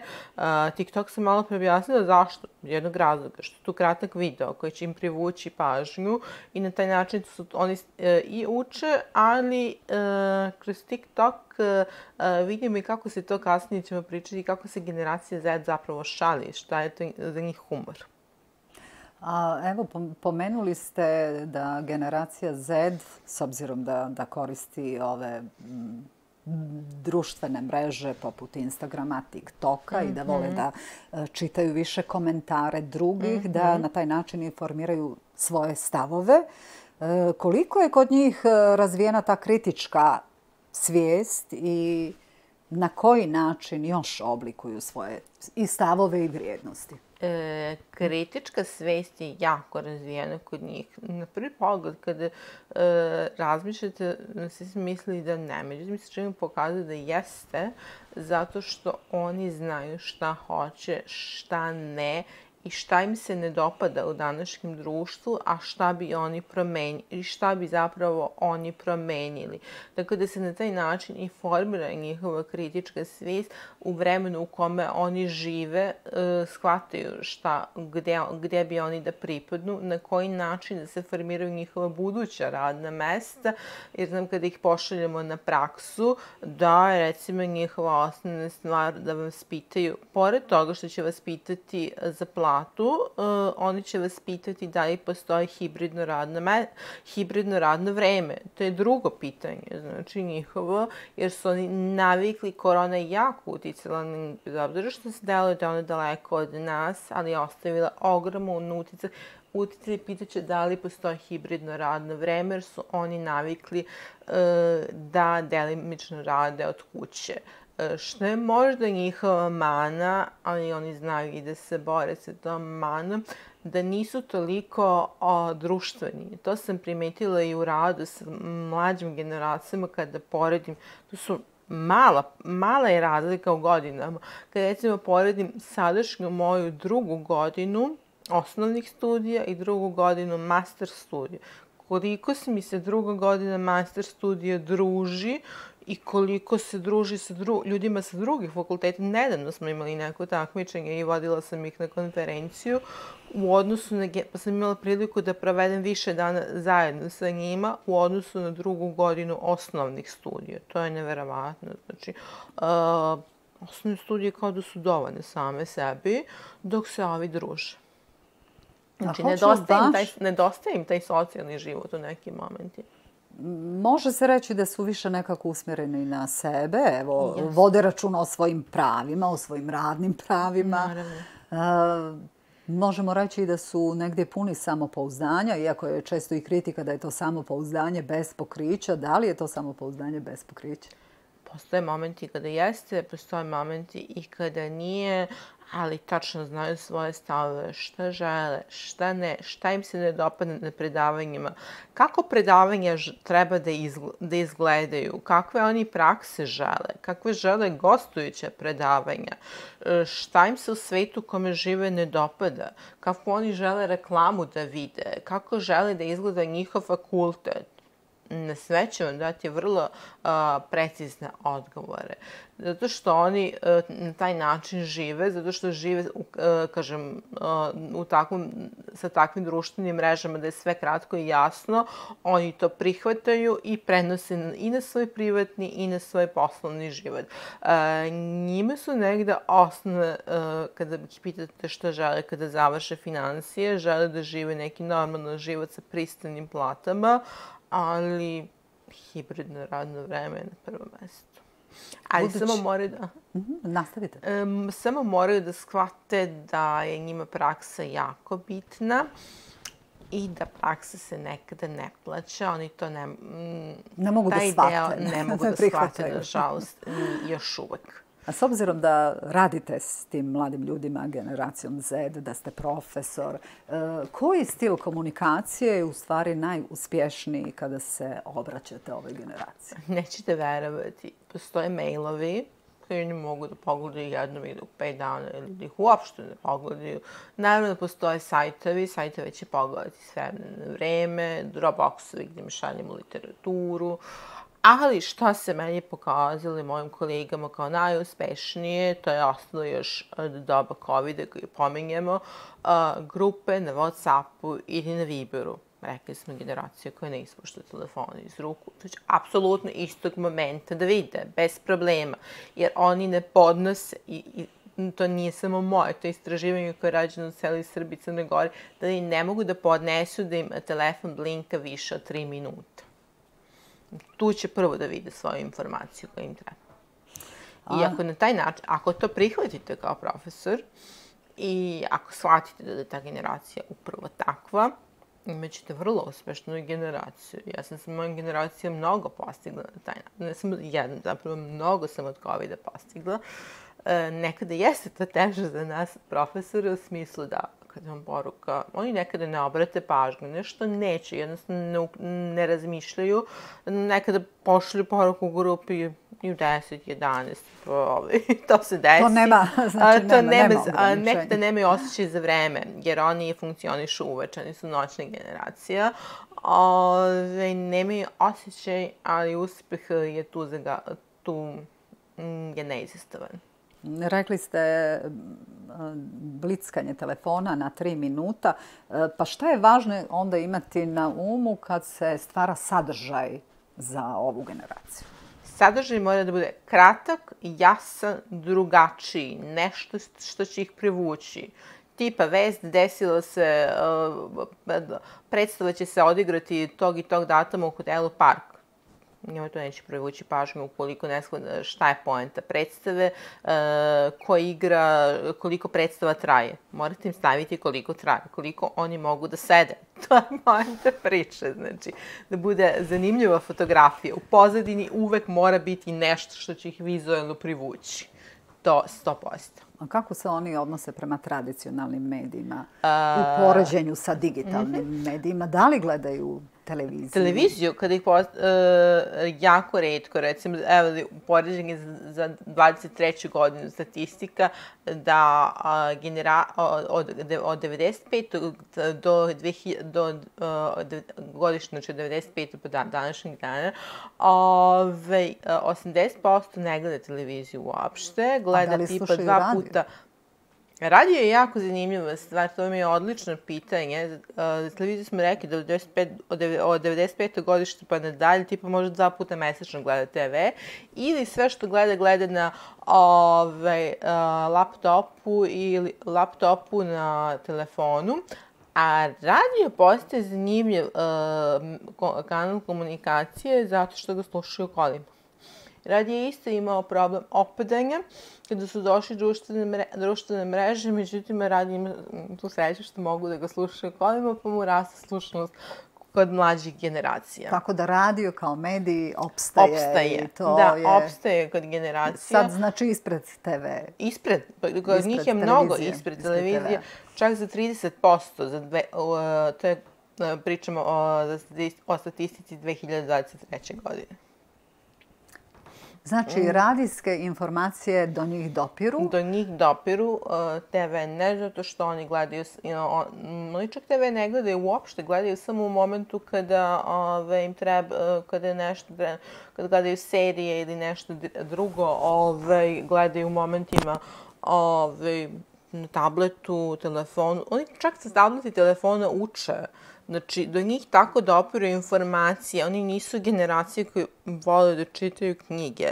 Oni su generacije koje hvata informacije e, sa tableta, telefona, sve. Apsolutno sve koriste. A ne vole ni da slušaju savjete roditeljske. Vi ste sad dali iz ugla profesora. A sad kako mi roditelji s njima da komuniciramo, da im šaljemo gifove?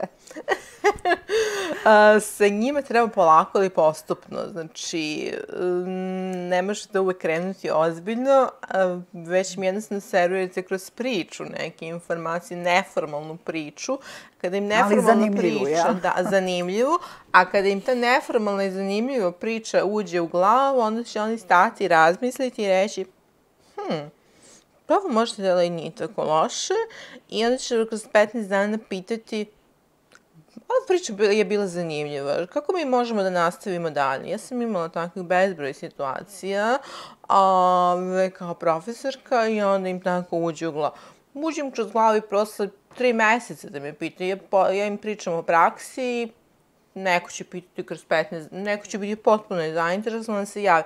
I to ne zato što mora, već će mi jednostavno pitati zainteresovan za praksu kroz 15 dana, a nekom će moja priča da dopreti do glave posle 3-4 mjeseca. Jer... Da li oni razmišljaju o tome tih 15 dana, ta 3-4 mjeseca ili je to blic? može se desiti i jedno i drugo. Sve zavisi šta je u njihovim glavama u tom momentu. E, da li su oni negde pročitali tekst u glavu. To ima i istraživanje o praksi kako zapravo ove studenti, kako generacija Z bira prakse. Znači, čak i kolege iz HR su, imaju jako lepe statistike i mnogo bi na zanimljivi način prenijeli kako biraju studente. Ove, razmišljaju oni, ali razmišljaju šta nude i da, da više e, zapravo generacija, Z i generacija kreativaca. Mi to možda, nama to deluje verovatno jako daleko, ali su oni generacije jako kreativne. Zašto su kreativni? Pa zato što uh, prate kreativne medije. Jasno mi je da je Instagram mnogo kreativniji od Facebooka, TikTok takođe, a da su zapravo sada na Facebooku njihovi roditelji. Uh, I onda Facebook izbjegavaju. uh, izbjegavaju. Ove, LinkedIn su hm, nisu pratili. LinkedIn je jako dobra mreža i tu pod znacima navoda vodimo rat. Zašto? Zato što LinkedIn je poslovna mreža i tu je jasno da moraju biti poslovni, e, da moraju imati svoj profil zbog jednog dana, zbog budućeg poslodavca i tako dalje. E, I onda su shvatili da tu, mora, da tu zaista moraju biti većina njih ne prate toliko, osim ukoliko im je baš u tom momentu potreban posao ili praksa, ali smo uspjeli nekako da se izborimo sa tim. Rekli ste da su kreativni, e, često se opisuju i kao angažovani, samosvjesni, društveno osvješćeni, sa interesovanjem za društvenu pravdu. Da, društvena... I također imaju taj istraživački duh, bilo što da im se kaže, oni začas izguglaju. Oni izguglaju to što im je interesantno i naprave mnogo kreativnije rešenje od nas, zato što tu i veštačka inteligencija njima mnogo pomaže, chat GTP, to im je omiljeni alat, jasno nam je, e, da chat GTP ima i svoje prednosti i svoje mane, ali veštačka inteligencija je doprala mnogo na prvi način, na prvi moment je doprala do njih, a onda kasnije i do nas odraslih i uh, oni na taj način stvaraju kreativne ideje, e, dok se okrenete, njima će nešto pasti na pamet drugačije, zato što su ta, jednostavno imaju taj način razmišljanja. Njihov humor je potpuno drugačiji od naših, od našeg, pardon, a, jer oni će na sve, njima je sve to smešno drugačije, da li to bio crni humor u vremenu u kome živimo, oni će da nađu na naprave način neko, uh, e, humor, nešto humoristično. Ove, jer jednostavno su takvi i od same situacije finansijske u zemlji i tako dalje i tako dalje. A koji su najčešći izazovi u komunikaciji sa Z generacijom? Najčešći? I vas kao mm. profesora? Kada će odgovoriti na poruku, da li će odgovoriti, što to znači kada i da li? To znači da li im se dopada tema naša, odgovorit će kada oni budu smatrali da treba i kada im treba naša pomoć. Ove, I na koji način smo mi njima postavili pitanje.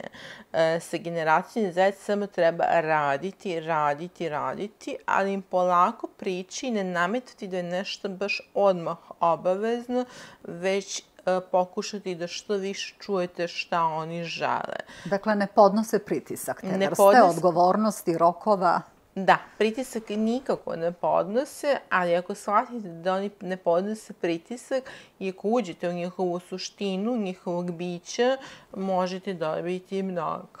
Ove, znači, oni će zna, shvati, e, to poštovati, žele da poštojete njihovu ličnost, njihovu suštinu, njihovo biće i Kažem, imala sam dvoje ljudi sede jedno do drugu, potpuno su dva različita svita. Kao da su odrasli u različitim državama i sa različitih planeta.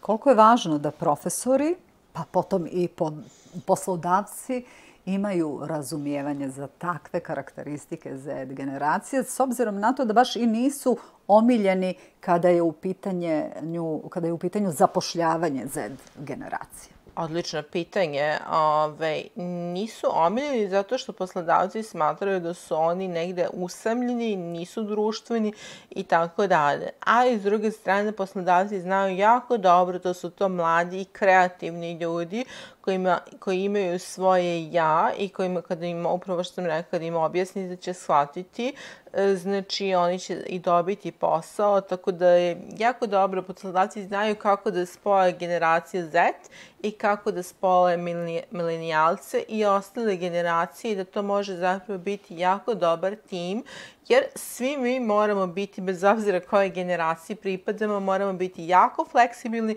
i shvatiti da moramo da učimo jedno od drugog jedni od drugih. A da li oni lako odustaju kad imaju određene prepreke ili ako im se određeni posao ne sviđa? Da li lako odustaju, da li e... lako daju otkaz, da li lako odlaze na neko drugo mjesto? Lako daje otkaz kada su mlađi. To se dešava. To je dokazano da prelaze na drugo radno mesto, da odlaze, da traže bolje. U nekim momentima to jeste dobro, a i nekada moraju shvatiti da kod nas vlada globalna kriza i da nije ta, la, uh, lako naći novi posao. Ali je već prin... mač sa dve oštrice. Ali u principu ne vezuju se za kompaniju, ne. za poslodavca, za... Ne, oni se ne vezuju, oni traže često free, uh, u 80% slučajeva tražiš freelance, freelance poslove i poslove kažem, e, nisu striktno vezane za radno vreme od 8 do 4. Za njih je to prevaziđeno. I jasno je da će iz godine u godinu, ne samo kod nas, već i u svetu, postati hibridno radno vreme traže poslove koji su interesantni, kreativni, gde oni mogu da dođu do izražaja, ali uh, da, da, da, gde oni mogu da dođu do izražaja, ali gde oni kažu ja ne živim zbog posla, ja živim zbog sebe, posao je tu da mi pomogne da živim bolje. Ja mislim da je to pravilan stav. S obzirom na ove naše Prošle s obzirom na naše prošle generacije, apsolutno, mi smo bili vaspiteni da slušamo, to nam se kaže, mi to prihvatamo i idemo dalje. Oni nisu takvi, mi da. jasno. Ali nisu ni buntovnici, oni e, jednostavno e, prate svoj put. prate svoj put, prate svoj život, znate i sami, prate svoj život i oni će stići, naići će oni na prepreku, to je jasno, ali će je isto tako zaobići, nek, zaobići ili prevoskočiti. Nekad, nekad zamislim da će bolje od nas prevozići tu prepreku. Će reći, ok, to je prepreka, hajmo sad dalje da vidimo. I mnogo su više praktični. Kako bi brendovi trebali da, trebalo da prilagođavaju svoju komunikaciju kako bi privukli tu generaciju Z? E, brendovi da budu što interesantniji, da prate vizualizaciju, e, da prate e, u poslo, e, da prate savremeno poslovanje. Recimo što je interesantno, ovaj, kažem, skoro sam bila po raznim konferencijama, pošto je septembra mjesec konferenciji kod nas i regionu, ovaj, chatbotovi su njima jako interesantni po svim istraživanjima, zato što zašto chatbotovi? Toj generaciji, jel, koja sam smeli, ali jel, pa, i pričali je sad, traže non stop odgovore, da je to bio 12 uveče ili 12 ujutru, njima je to potpuno sve jedno. Ove, znaju da će od chatbota dobiti odgovor i to je njima jako interesantno. Znači, moraju ih pratiti e, njihove potrebe i jasno je da ako prate njihove potrebe, da će dobiti i brand, da će dobiti i verne pratioce i korisnike svog brenda. Recimo, Raiffeisen Bank, zašto u Srbiji je Raiffeisen banka ima naj, najveći koris, koris, korisnike milenijalica? Iz tog razloga ima chatbot, ima Raiffeisen odgovore i to je to. A koliko je u toj komunikaciji, koliko je važna autentičnost da bi se privukla njihova pažnja? To je najbitnije, zato što njima ono što je vizualno zanimljivo, prvo će ih privući i vratiti. A, a vratiti, to je čak e, po istraživanjima jedna, visok, e, visok, jedna obrazovana ustanova u Hrvatskoj je shvatila važnost chatbota, uvela ga u svoj sistem obrazovanja i za godinu, samo za godinu dana, znači 12 mjeseci, pokazala jako lijep uspeh. A kako se može mjeriti ta uspješnost komunikacije sa Z generacijom? E, pa uspješnost e, koliko imate pozitivnih odgovora, koliko imate... Uopšte odgovora. E, uopšte koliko imate odgovore koji vama trebaju u tom momentu, koliko imate zaposlenih, koliko imate zavisi koliko imate kup, čime se bavite, koliko imate ove, koliko su kup, koliko je, proda, koliko je uspešna prodaja generacije. prodajete garderobu, koliko su kupili mini Z generacije, znači od, u periodu od prethodna tri mjeseca koliko su naručili preko Instagrama, da li preko sajta i tako dalje, zavisi. Evo, pomenuli ste i da su skloni humoru, da na specifičan način ovaj, humorom reaguju i na neka E, kulturna dešavanja? E, njihov humor je jako specifičan, nama nekada deluje i neobičan, a oni humor pronalaze u svemu, od vremena u kome živimo, kada ustanemo kakvo je vreme, a, do političke situacije, do situacija u gradu kada je zastoj u saobraćaju i tako dalje, ovaj, do humora kako ostaju kakve komentare ostavljaju na društvenim mrežama. Ima čak e, i na društvenim mrežama ostavljaju komentare u vidu lajkova, u vidu emotiona i tako dalje. Ove, nekada priznajem da to mene jako nervira, ove, ali njima je to specifično, njima je to potpuno normalan način komunikacije. Ove, dok oni, dok sam, kad, jednostavno, pošto se bavim time na fakultetu, pitala sam ih jedno jednostavno pitanje zašto tako radite. Ali su mi najjednostavnije odgovorili, profesorka, to je naš način komunikacije. I vi ste to prihvatili? Naravno, nisam prihvatila, ali mislim sam naši kompromis da to mogu u privatnom životu, da to jeste njihov način, ali jednostavno posao je posao. Znači, I imaju za to razumijevanje. Nije imaju za to razumijevanje kad im na lep način objasnite da to na poslu ide malo drugačije, u privatnom životu drugačije, onda mi nađemo kompromis. Ali, znači, što kraće i što upečetljivije, to je za njih njihova ovaj, odgovor. A s obzirom da ste rekli da su okrenuti sebi, mm -hmm. kako na njih utiče društvo? Jesu oni okrenuti sebi na prvo mesto i svojim potrebama, ali generacija Z nije sebična generacija, što je jako bitno. Oni su jako humani, znaju da pokažu svoju humanost na delu i znaju da se udruže kada je potrebno da pomognu nekome. Znači, oni svog prijatelja nikada neće ostaviti na cedilu, nikada, znači preće uh, sebe uh, oštetiti. oštetiti nego svog prijatelja, organizujući humanitarne akcije, znaju da osete da je društvu nekada potrebna pomoć i da oni društvu mogu da pomognu kroz svoje aktivnosti. Kada njih desetora ostavite zajedno u prostoriji, jasno je da mogu doći, doći do hiljadu nekih zanimljivih ideja koje recimo nama starijima nikada ne bi palo na pamet da možemo za tako kratko vreme da rešimo. Dakle, da zaključimo da je Z generacija odlična generacija i da bi trebalo da se potrudimo da ih bolje razumijemo. Upravo tako što ste rekli, samo da se potrudimo i da shvatimo šta oni žele, na koji način da, da prihvatimo njihovu komunikaciju na prvom mestu. Hvala vam puno što ste bili gošća Novskog jutra i što ste nam tako dobro odgovorili na ovu temu. I nadamo se da ćemo e, uh, razumijeti bolje tu Z generaciju koja je stigla 96. odnosno 97. pa nadalje. I još se ne završava, je li tako? Ne završava se, još su oni tu, njihovo vreme tek dolazi. Hvala i vama na pozivu. A sada, uvaženi gledalci, pošto će u Herceg Novom u oktobru biti organizovan festival horova, o toj manifestaciji, evo za kraj jutarnjeg, reći će nam nešto više naša koleginica Slavica Miletić i njena sagovornica koja je osnivač i organizator festivala Nađa Karadžić. Pred nama je hor festival, a sa nama je utros direktorica Hor festivala Nađa Karadžić. Nađa, dobro jutro. Dobro jutro, hvala na pozivu. Evo, kao što ste rekli, deveti po redu, Međunarodni festival horova Herceg Novi održat će se od 3. do 6 oktobra. Kao što znate, taj prvi vikend u oktobru uvijek iščekujemo sa ovim festivalom. I prijavljeno je 24 horska ansambla, što se ne mogu pohvaliti, pravo da vam kažem, ni veći ti festivali koji imaju dužu tradiciju, tako da sam apsolutno kao direktorica festivala zadovoljna.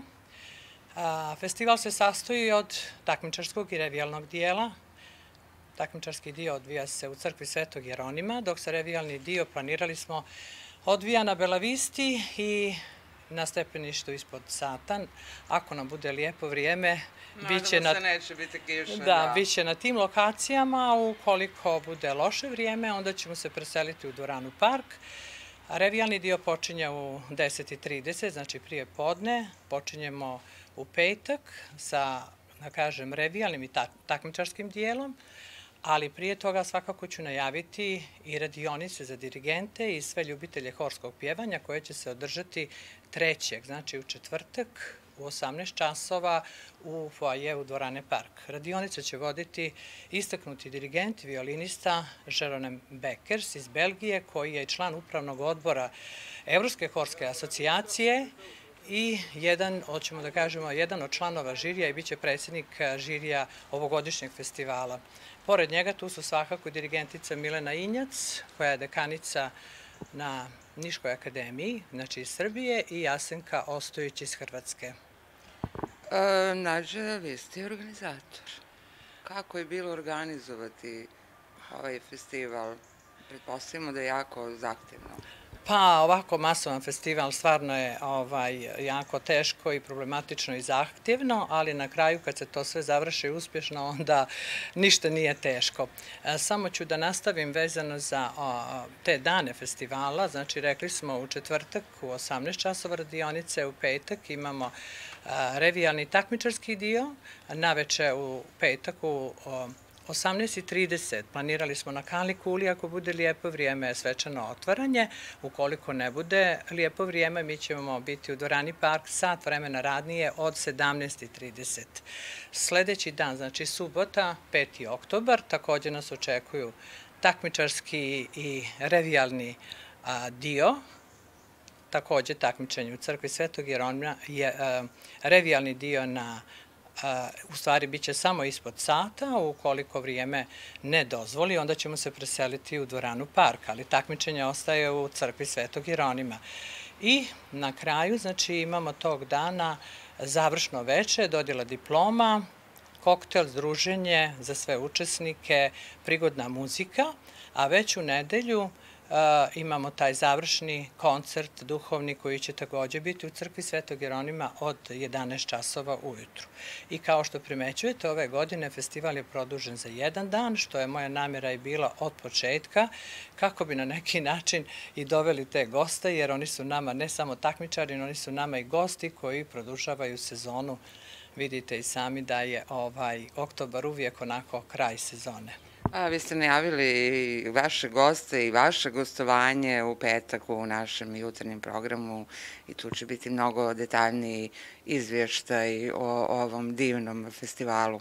E, recite mi koliko vam je vremena trebalo da se organizujete? Pa za ovu pripremu festivala vjerujte da najmanje treba jedno sedam, osam mjeseci i čim se završi festival ja odmah krenem sa pripremama. Svakako želim da izrazim zahvalnost opštini Herceg Novi, Ministarstvu kulture i medija, Ministarstvu turizma koji me podržavaju, pogotovo Ministarstvo kulture i medija i Ministarstvo turizma poslednje dvije godine. I posebno se zahvalim našem gradonačelniku Stevanu Katiću koji mi je maksimalno izašao u susret i stvarno nemam riječi za sve ove godine. On je bio tu za ovaj festival i ovim putem želim da mu se javno zahvalim. Evo, ja se zahvaljujem vama na divnom razgovoru i na izdvojenom vremenu. Znamo da ste zaista zauzeti, izdvojili ste malo vremena za nas, da izdvojimo, da najavimo divan početak oktobra uz divnu muziku.